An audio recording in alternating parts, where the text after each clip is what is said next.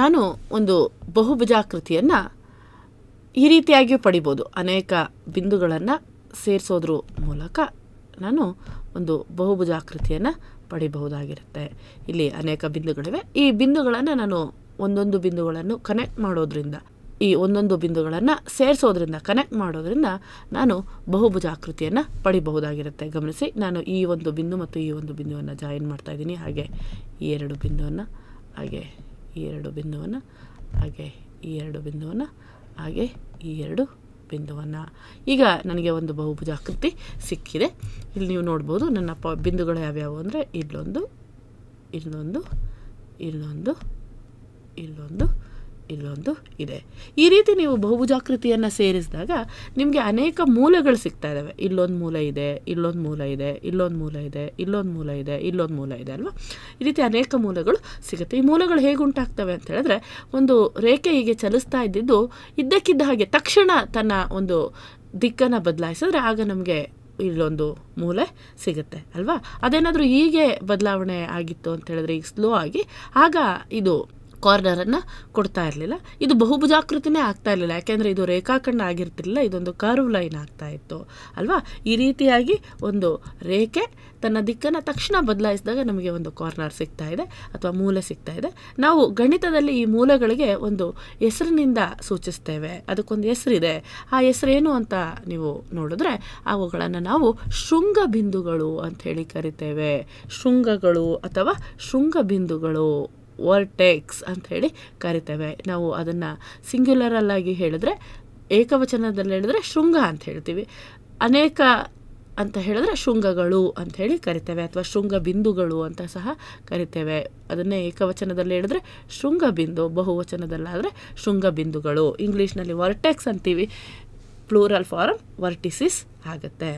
ಈಗ ನಾನು ಈ ಒಂದು ಶೃಂಗಬಿಂದುವನ ಬಗ್ಗೆ ಮಾತನಾಡ್ತಾ ಇದ್ದೇನೆ ಅಂತ ಹೇಳಿದ್ರೆ, ನೀವು ನಾನು ಅಲ್ಲಿ ಮಾರ್ಕ್ ಮಾಡಿದ್ರಷ್ಟೇ ನೀವು ಗಮನಿಸ್ತೀರಿ, ಅಲ್ವಾ? ಆದರೆ ನಾನು ಈ ಶೃಂಗಬಿಂದುಗಳ ಬಗ್ಗೆ ಮಾತಾಡ್ತಾ ಇದ್ದೀನಿ ಅಂತ ಹೇಳಿದಾಗ ಅವುಗಳನ್ನು ಹೆಸರಿಸ್ಬಿಟ್ಟೆ ಅಂತ ಹೇಳಿದ್ರೆ ಏನು ಅನುಕೂಲ ಆಗುತ್ತೆ ನೋಡೋಣ. ಈಗ ನಾನು ಈ ಒಂದು ಶೃಂಗಬಿಂದುವಿಗೆ ಎ ಅಂತ ಹೆಸರು ಕೊಡ್ತಾ ಇದ್ದೀನಿ, ಇದಕ್ಕೆ ಬಿ ಅಂತ ಹೆಸರು ಕೊಡ್ತಾ ಇದ್ದೀನಿ, ಇದಕ್ಕೆ ಸಿ ಅಂತ ಹೆಸರು ಕೊಡ್ತಾ ಇದ್ದೀನಿ, ಇದಕ್ಕೆ ಡಿ, ಇದಕ್ಕೆ ಇ ಈಗ ನೀವು ಗಮನಿಸಬಹುದು, ನಾನು ಸಿ ಶೃಂಗ ಬಿಂದುವಿನ ಬಗ್ಗೆ ಮಾತಾಡ್ತಾ ಇದ್ದೀನಿ ಅಂತ ಹೇಳಿದ್ರೆ ನಿಮ್ಮ ದೃಷ್ಟಿ ಇಲ್ಲಿಯೇ ಬರುತ್ತೆ. ಇದು ಸೀದ ಜಾಗ ಅಂತ ಗೊತ್ತಾಗುತ್ತೆ. ನಾನು ಈ ಶೃಂಗಬಿಂದು ಈ ಶೃಂಗಬಿಂದು ಅಂತ ಹೇಳುವ ಬದಲು ಹೆಸರನ್ನು ಹೆಸರಿಸಿದೆ ಅಂತ ಹೇಳಿದ್ರೆ ಸುಲಭವಾಗಿ ಅರ್ಥ ಮಾಡ್ಕೊಳ್ಬಹುದಾಗಿರುತ್ತೆ. ಅಲ್ವಾ? ಈಗ ಈ A, B, C, D, E, ಈ ಐದು ಶೃಂಗಬಿಂದುಗಳನ್ನು ಈ ಒಂದು ಬಹುಭುಜಾಕೃತಿ ಹೊಂದಿದೆ. ಹಾಗಾದರೆ ಈ ಬಹುಭುಜಾಕೃತಿಯನ್ನು ಹೇಗೆ ಹೆಸರಿಸೋದು? ಇದಕ್ಕೆ ಹೆಸರನ್ನು ಹೇಗೆ ಕೊಡ್ಬೋದು? ಅಂತ ಹೇಳಿದ್ರೆ ಒಂದು ರೀತಿಯಲ್ಲಿ ನಾವು ಈ ಬಹುಭುಜಾಕೃತಿಯನ್ನು ಹೆಸರಿಸಬಹುದು. ಅದು ಈ ಶೃಂಗಬಿಂದುಗಳ ಸಹಾಯದಿಂದ.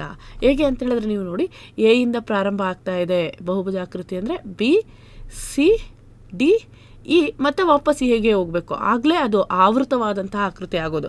ಇಲ್ವಾದಲ್ಲಿ ಅದು ಆವೃತ ಆಕೃತಿ ಆಗೋದಿಲ್ಲ. ಹಾಗಾದರೆ ಈ ಒಂದು ಬಹುಭುಜಾಕೃತಿಯನ್ನು ನಾನು ಈ ರೀತಿ ಹೆಸರಿಸ್ಬೋದು A, B, C, D, E. ಅಥವಾ ನಾನು ಸಿಯಿಂದ ಪ್ರಾರಂಭ ಮಾಡಿದ್ರೆ ಸಿ ಡಿ ಇ ಎ ಬಿನೂ ಸಹ ಆಗುತ್ತೆ. C D E A B ಸಹ ಆಗುತ್ತೆ. ಅಥವಾ ನೀವೇನಾದರೂ ಡಿಯಿಂದ ಪ್ರಾರಂಭ ಮಾಡಿದ್ರೆ D E A B C ಸಹ ಆಗುತ್ತೆ. ಅಲ್ವಾ? ಆದರೆ ನೀವು ಈ ರೀತಿಯಾಗಿ ಹೆಸರಿಸೋದಕ್ಕೆ ಸಾಧ್ಯ ಇಲ್ಲ. ಅದು ಏನು ಅಂತ ಹೇಳಿದ್ರೆ A, C, D, E, B. ಇಲ್ಲಿ ನೋಡಿ ಎ ಮತ್ತು ಸಿ ಕನೆಕ್ಟೇ ಆಗಿಲ್ಲ. ಹಾಗಾಗಿ ಈ ರೀತಿಯಾಗಿ ನಾವು ಹೆಸರಿಸೋದಕ್ಕೆ ಸಾಧ್ಯ ಇಲ್ಲ. ಹಾಂ, ನಾವೀಗ ಈ ಕ್ರಮವಾಗಿ ಹೆಸರಿಸಿದ್ವಿ ಅಂತ ಹೇಳಿದ್ರೆ ಇದೆಲ್ಲವೂ ಸಹ ಆ ಒಂದು ಬಹುಭುಜಾಕೃತಿಯನ್ನು ಹೆಸರಿಸುವ ವಿಧಾನ ಆಗಿದೆ. ಆದರೆ ಈ ಕ್ರಮವನ್ನು ನಾವು ತಪ್ಪಿದ್ವಿ ಅಂತ ಹೇಳಿದ್ರೆ ಅದು ಬಹುಭುಜಾಕೃತಿಯ ಹೆಸರನ್ನು ಕೊಡೋದಿಲ್ಲ. ಈಗ ನಾನು ಒಂದು ಹೆಸರನ್ನು ಉಳಿಸ್ಕೊಂಡು ಉಳಿದೆಲ್ಲ ಹೆಸರುಗಳನ್ನು ತೆಗಿತಾ ಇದ್ದೇನೆ. ಯಾಕೆಂದರೆ ನಿಮಗೆ ಈಗ ಆಲ್ರೆಡಿ ಇದನ್ನು ಹೇಗೆ ಹೆಸರಿಸಬಹುದು ಅಂತ ಗೊತ್ತಾಯಿತು. ಈ ಒಂದು ಬಹುಭುಜಾಕೃತಿಯ ಹೆಸರು A B C D E ಆಗಿರಲಿ. ನೀವಿಲ್ಲಿ ನೋಡಬಹುದು, ನಾನು ಈ ಕಾರ್ನರ್ಗಳನ್ನು, ಈ ಶೃಂಗ ಬಿಂದುಗಳನ್ನು ಕನೆಕ್ಟ್ ಮಾಡಿದ್ದೇವೆ. ಒಂದು ರೇಖೆಯಿಂದ ಕನೆಕ್ಟ್ ಮಾಡಿದ್ದೇವೆ.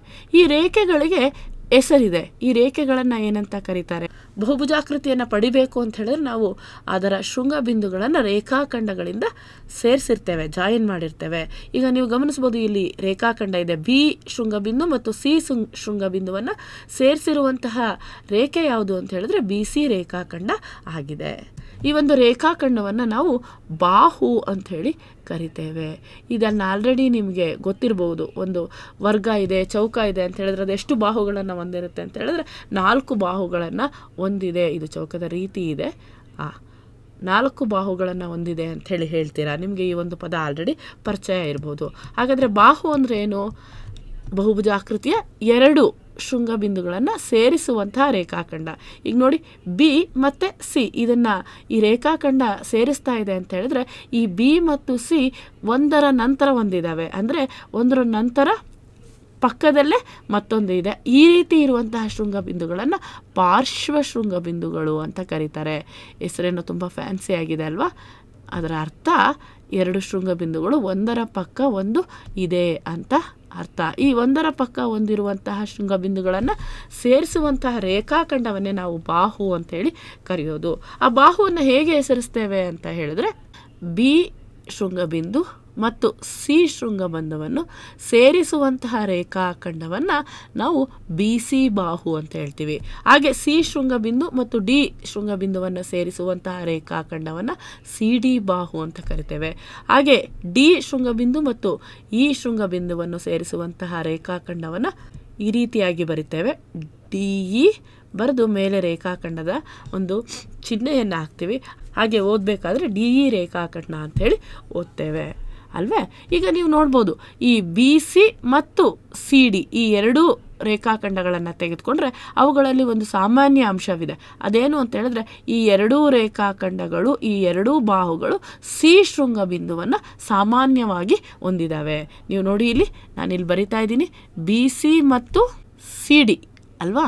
ಬಿ ಸಿ ಮತ್ತು ಸಿ ಡಿ ರೇಖಾಖಂಡನ ಬರೆದಿದ್ದೀನಿ ಅಂದರೆ ಅವು ಸಿ ಶೃಂಗಬಿಂದುವನ್ನು ಸಾಮಾನ್ಯವಾಗಿ ಹೊಂದಿದ್ದಾವೆ ಹಾಗೆ ಸಿ ಡಿ ಮತ್ತು ಡಿ ಇ ರೇಖಾಖಂಡವನ್ನು ಬರಿತಾ ಇದ್ದೀನಿ ಅಂತ ಹೇಳಿದ್ರೆ ಇವೆರಡೂ ಸಹ ಡಿ ಶೃಂಗಬಿಂದುವನ್ನು ಸಾಮಾನ್ಯವಾಗಿ ಹೊಂದಿದ್ದಾವೆ ಅಲ್ವಾ? ಅದೇ ರೀತಿ ನೀವೇನಾದ್ರೂ ಡಿ ಇ ಮತ್ತು ಎ ಇ ರೇಖಾಖಂಡದ ಬಗ್ಗೆ ಮಾತಾಡಿದ್ರಿ ಅಂತ ಹೇಳಿದ್ರೆ ಈ ಬಿಂದುವನ್ನು ಸಾಮಾನ್ಯವಾಗಿ ಹೊಂದಿರ್ತವೆ. ಈ ರೀತಿ ಎರಡು ರೇಖಾಖಂಡಗಳು ಸಾಮಾನ್ಯ ಶೃಂಗು ಬಿಂದುವನ್ನು ಹೊಂದಿದ್ವು ಅಂತ ಹೇಳಿದ್ರೆ ಅವು ಪಕ್ಕಪಕ್ಕದಲ್ಲೇ ಇದ್ದಾವೆ ಅಂತ ಅರ್ಥ.